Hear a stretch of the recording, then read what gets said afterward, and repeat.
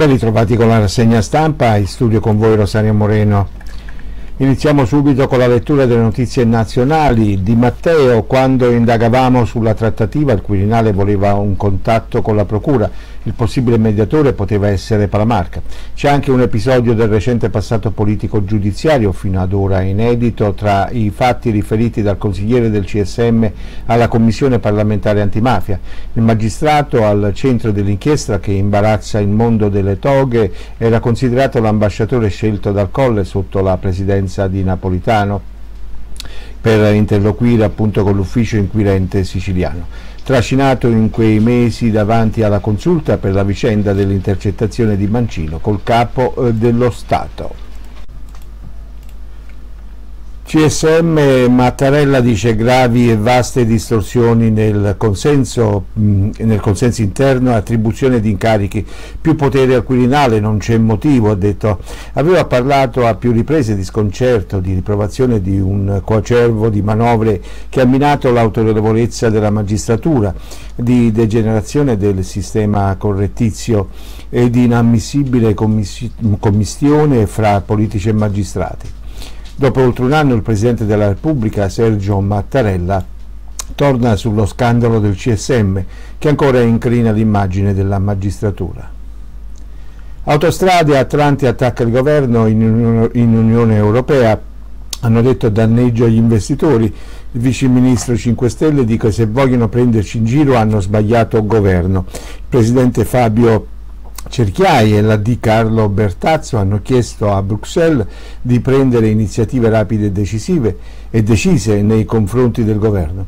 Vuole forzarci a vendere a Cassa Depositi e Prestiti, hanno detto, a un valore ridotto di mercato e accusano sulle garanzie statali, desiderio delle autorità italiane di compromettere la redditività, di, di indebolire la società e ridurre il valore a fini politici.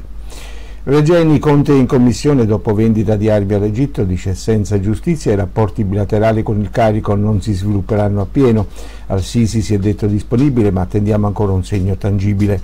Il Premier davanti all'organismo che indaga sull'uccisione del ricercatore friulano di 28 anni fa cioè scusatemi di 28 anni. Nessuno deve dubitare che la verità sia la priorità, ma i risultati si avranno con più dialogo, non fermandolo. Ai genitori ho detto che se non ci sono ancora risultati possono, uh, possono imputarlo a me. Lega assente in dissenso con l'orario di convocazione, i colleghi invece hanno ringraziato il Premier per la velocità nell'aver accettato la candidatura. Contratti a termine PD e Italia Viva chiedono di prolungare la deroga al decreto dignità su rinnovi e proroghe, no della, della Catalfo. È evidente che in questa fase se non si eliminano temporaneamente i disincentivi si rischia di avere un impatto negativo sull'occupazione, lo ha detto il Ministro Gualtieri. Lo abbiamo iniziato a fare con il decreto rilancio e credo che vada fatto con maggiore determinazione. Ma la Ministra del Lavoro, esponente del Movimento 5 Stelle, che nel 2018 ha voluto quella norma con l'obiettivo di favorire la conversione in rapporti di lavoro stabile, chiude a ulteriori eh, modifiche. Notizie da Napoli e dalla Campania. Un bimbo di 5 anni cade dalla finestra del bagno, un pomeriggio di terrore nel napoletano. Ieri alle 15.30 un bambino di 5 anni è precipitato dalla finestra del bagno della sua abitazione sino al secondo piano rialzato di uno stabile eh, di, uno stabile di Corso Umberto in Marigliano. In casa con lui la madre che ha allertato il 118 dopo aver udito il tonfo e le grida dei vicini. Trasportata all'ospedale Santo Bono di Napoli in codice rosso, il bambino è stato è stato sottoposto ad accertamenti diagnostici insomma, che possono escludere lesioni interne. Processo penale telematico Napoli Capofila nasce il portale Deposito Atti Penali. Il Consiglio dell'Ordine degli Avvocati di Napoli, unitamente alla Camera Penale, ha sottoscritto il protocollo di intesa attuativo del portale Deposito Atti Penali di intesa con la Procura della Repubblica di Napoli. Il protocollo prevede la facoltà per gli avvocati di trasmettere in via telematica e con, telematica e con valore legale gli atti di nomina difensiva alle memorie e le istanze tramite il portale ministeriale attivato a Napoli come prima sede in Italia. Si tratta di, una, di un'innovazione adottata in via sperimentale che rappresenta il primo passo verso l'auspicata realizzazione del processo penale telematico e la smaterializzazione del cartaceo. Notizie da Treviso e dal Veneto. Festa di fine scuola in piazza Treviso, Conte senza mascherina tra selfie e abbracci, in piazza dei Signori e in piazza Borso il sindaco si è lasciato andare a incontri ravvicinati rigorosamente privi di protezione anticontagio, eh, mentre lo speaker, lo speaker appunto invitava a mantenere le distanze.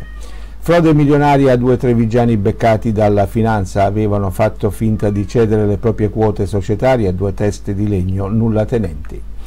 Insomma, ecco l'ospedale del futuro, a Treviso ci saranno 110 posti intensivi e più medici. L'uso di marca si attrezza per fronteggiare nuove virosi e altre patologie, chiesta la stabilizzazione delle 84 figure sanitarie assunte a fine luglio. Montebelluna Porsche contro la Panda di servizio, una postina gravissima, l'incidente all'incrocio tra Feltrina e via Cal Trevigiana. Ad avere la peggio la quarantenne addetta alla distribuzione della posta è stata trasportata in rianimazione a Treviso. È vietato bere alcolici fuori dai locali, multe fino a 3.000 euro. Il comune di Treviso ha firmato l'ordinanza che vieta il consumo eh, di bevande alcoliche fuori dagli spazi autorizzati dai locali. Valide, le prescrizioni sono valide dalle ore 21 alle ore 3.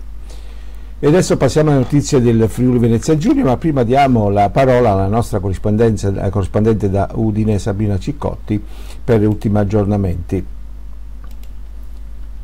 Giovedì 18 giugno 2020, maltempo sulla regione Friuli Venezia Giulia una vera bomba d'acqua, si è abbattuta nei comuni di Tricesimo e Qualso di Reane del Royale nel primo pomeriggio. Anche nel comune di Buia e si è reso necessaria una modifica alla viabilità a causa delle strade allagate. È tutto. Sabrina Ciccotti da Udine per Radio Saiuz. Bene, e adesso passiamo alle altre notizie eh, in corso. Eh, David Sassolo renderà omaggio alle vittime del Vajont, il Presidente del Parlamento europeo. Il 10 ottobre si recherà in visita sui luoghi della tragedia. Il 10 ottobre 2020 il ricordo della tragedia del Vajont avrà un valore particolare. A rendere omaggio alle 1917 vittime infatti ci sarà il Presidente del Parlamento europeo David Sassoli. Lo rende noto l'europarlamentare friulano Marco Dreosto della Lega che a febbraio aveva sollecitato la presenza di un alto rappresentante dell'Unione Europea. Da quel lontano 9 ottobre 1963 infatti nessun esponente del governo continentale aveva mai dimostrato solidarietà e vicinanza alle popolazioni di Erto e Casso e Longarone con la propria presenza. Riconoscimento professionale ed economico, gli infermieri scendono in piazza dopo l'emergenza, il personale sanitario chiede l'adeguamento dei propri stipendi a quelli europei. C'è stata una manifestazione in piazza Unità Trieste ieri mattina a partire dalle 10 per un centinaio di infermieri del Nursind che da tutta la regione si sono dati appuntamento per far valere i propri diritti. I professionisti della sanità, dopo essere stati chiamati eroi e aver combattuto in prima linea contro il Covid-19, chiedono il giusto riconoscimento professionale ed economico per il loro lavoro. Incidente il pomeriggio di ieri di fronte alla chiesa di Villa Vicentino, un ragazzino di 14 anni è caduto mentre stava pedalando in sella alla sua bici di fronte alla chiesa di Villa Vicentina, appunto nel pomeriggio di ieri, poco prima delle 16, ha battuto la testa con violenza e ha perso i sensi due volte.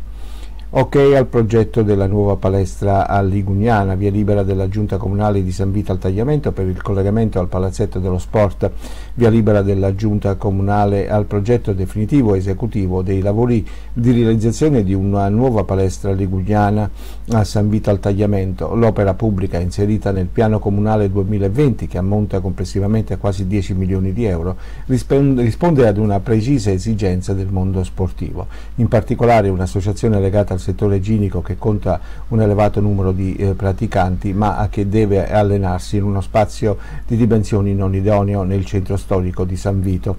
Nonostante le difficoltà logistiche i risultati sportivi sono eh, notevoli, tanto da avere indotto l'amministrazione comunale ad intraprendere la, le procedure per la costruzione di uno spazio idoneo e dedicato.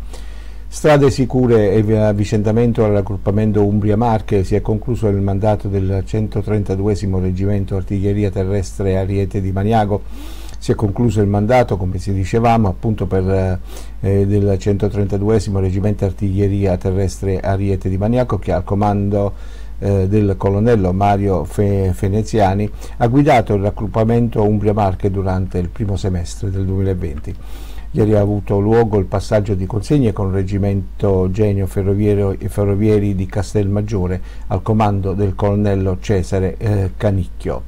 Bene cari amici, con questo è tutto, termina qui questa edizione della rassegna stampa. In studio con voi Rosario Moreno, buon proseguimento con la programmazione.